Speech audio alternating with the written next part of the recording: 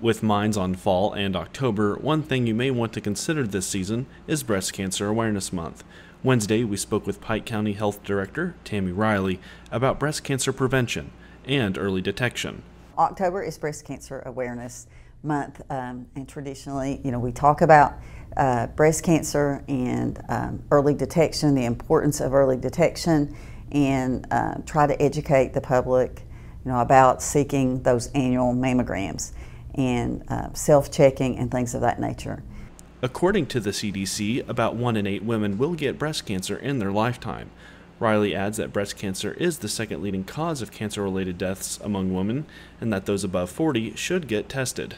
But definitely at age 40, there is a uh, suggestion for annual mammograms and a definite recommendation starting at age 50 and older. Um, what we've seen um, is definitely some improvement over previous years uh, with through education and outreach.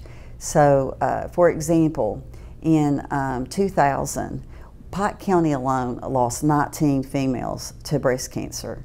Um, moving forward to 2017, I looked at the data and we lost six women to breast cancer. So we have seen some improvement. Here at Pikeville Medical Center's Heart and Vascular Institute, we have assembled a comprehensive team of cardiac specialists bringing expertise from all regions of the nation and the world. We have coupled that with cutting edge technology, providing them the best equipment and operating rooms available. The result is comprehensive cardiac care for the people of our region that is second to none. The Heart and Vascular Institute at Pikeville Medical Center. According to Health Rankings, Pike County ranks 92nd out of 120 in health behavior, with only 40% of female Medicare enrollees between the ages of 65 to 74 eligible for mammograms taking advantage. Riley says resources are available.